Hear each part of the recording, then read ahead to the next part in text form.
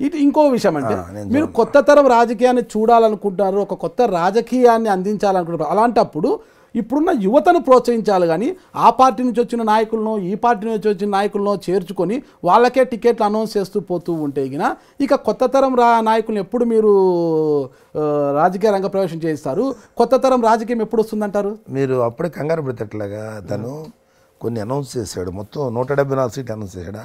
కానీ కొన్ని కొన్ని చేస్తూ వస్తున్నారు. మన నాదెల్ల మనోహర్ గారిని చేశారు. కొన్ని కొన్ని చేశాడు కదా. వెయిట్ చేయండి. ఇంకొకరు కొంతకాలం వెయిట్ చేస్తే నూట డెబ్బై నాలుగు సీట్లు ఎవరికి కొత్తలకు ఇచ్చాడు?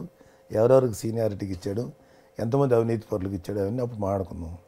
ఎప్పుడు ఎందుకు? జరగకముందే ఒక రెండు మూడు సీట్లు ఎవరికి అనౌన్స్ చేసినంత మాత్రాన అర్జెంటుగా దాని మీద స్పందించాల్సిన అవసరం ఏంటి? ఇతర పార్టీ నుంచి వచ్చే నాయకులంతా కూడా ఒక కమిట్మెంట్తో వస్తున్నారు కదా నెక్స్ట్ టికెట్ అది కన్ఫర్మ్ చేసుకుని. ఈరోజు రావెల కిషోర్ బాబు వైఎస్ఆర్ కాంగ్రెస్ పార్టీలో రెండు స్థానాలు అడిగారు. ఆ రెండు కుదరకపోయేసరికి ఇక ఇక్కడ వైసీపీలో కుదరదు అనేసి జనసేనలోకి వెళ్ళిపోయారు. అంటే ఆశించే వచ్చారు రావెల కిషోర్ బాబు గారిని మంత్రివర్గం నుంచి ఎందుకు తప్పించారు? ఆయన మీద ఉన్న విమర్శలు ఏంటి? అని ఒక్కసారి మనం పరిశీలిస్తే అర్థమవుతుంది. అలాంటిది ఆయన టీడీపీని కాదు వైసీపీలోకి వెళ్ళాలని ప్రయత్నించారు. వైసీపీలో కుదరక అక్కడికి వెళ్ళారు. ఇంకా ఏ పార్టీలో అక్కడ దిక్కు between లేనప్పుడు రావెల ఒక కిషోర్ ఆ. కళ్యాణ్ బాబు మధ్యలో ఏం జరిగిందో నాకైతే ఏం తెలియదు. ఎందుకు ఆయన తీసుకున్నారు పార్టీలోకి? తీసుకుంటాం రైటా రాంగా? దాని మీద నేను ఆలోచించాల. రావెల్ కిషోర్ బాబు అనే వ్యక్తి కళ్యాణ్ బాబు దగ్గరికి వెళ్ళారు. కళ్యాణ్ బాబు పార్టీలో చేరుతాను ఆసక్తి కనపరిచాడు. కళ్యాణ్ బాబు చేసాడు ఇదే నాకు ఇన్ఫర్మేషన్ ఉంది. డీటెయిల్గా అతను ఏదైనా మాట్లాడితే నేను కామెంట్ చేయగలను. మరి ఏది తెలియనప్పుడు ఈ ఇటీవల కాలంలో మీరు రాజకీయంగా ఎందుకు అంత పదనేడు వ్యాఖ్యలు చేస్తున్నారు? మీ సోదరుడికి వస్తాయి కదా అవన్నీ కూడా ఏం మాట్లాడినా కూడా పవన్ కళ్యాణ్ గారు వాళ్ళన్నా నాగబాబు గారు మాట అంటే ఆయనకు తెలియకుండా మాట్లాడతారన్న వ్యాఖ్యలు వస్తాయి. మాట్లాడుతున్నారు ఇద్దరు ఇద్దరు టూ ఇండివిజువల్స్ నేను వేరు మా కళ్యాణ్ బాబు వేరు.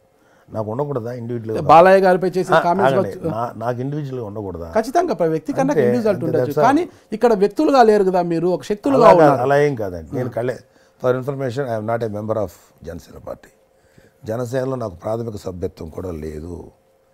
కళ్యాణ్ బాబు నా తమ్ముడు అవటం జనసేన పార్టీ పెట్టడం జనసేన పార్టీ అధినేత అయి నా తమ్ముడు అవ్వటం అనేది ఒక్క కోయిన్సిడెన్స్ తప్ప అంటే ఒక్క విషయం తప్ప నేను ఏ విషయంలోనూ కళ్యాణబాబు పార్టీలో ఐఎమ్ నాట్ ఏ మెంబర్. ప్రాథమిక సభ్యత్వం కూడా లేదు. నేను వ్యాఖ్యానించేది నేను చేసేది నేను చాలా సునిశ్చితమైన వ్యాఖ్యలు చేయట్లా. ఐఎమ్ జస్ట్ డూయింగ్ వాళ్ళు ఎవరు చెప్పిన మాటల్ని తిరిగి చెప్తున్నాను అంతే. దాని మీద కొన్ని నా- నాకున్న ఒపీనియన్ చెప్తున్నాను. నేను ఎక్కడా కూడా రాంగ్గా మాట్లాడటం తప్పుడు మాటలు మాట్లాడటం అంటే వాళ్ళ అగౌరవంగా మాట్లాడటం అలా ఏం చేయాలి. నాకు అది అనిపించింది. సపోజ్ నేను అన్నది నేను అన్న నేను అన్నమాట రైట్ రాంగ్ అనుకుందామండి. జగన్ గారిని నేను అన్నా నేను అట్లా అన్నారు రాంగ్ అనుకుందాం. ఖండించండి తప్పేంటి? సరే నేనేమి నా మాటలు ఎవరు ఖండించకూడదు? నా మాటలు ఎవరైనా సరే శిలాశాసనలు తీసుకోవాలని నేను కోరుకుంటాను. ఖండించవచ్చు కదా తప్పే ఉంది. అలా ఖండించని వాళ్ళు ఉన్నారు. కానీ ఖండించకుండా నన్ను నన్ను భయంకరంగా తిట్టిన జగన్ అభిమానులు ఉన్నారు. మరి నేను ఎలా మాట్లాడాలి దాని తర్వాత?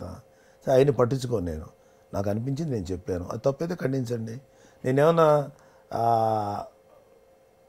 లేని విషయం ఏం చెప్పలేదు. జగన్ గారి మీద కేసులు లేవా? ఈడీ కేసులు లేవా?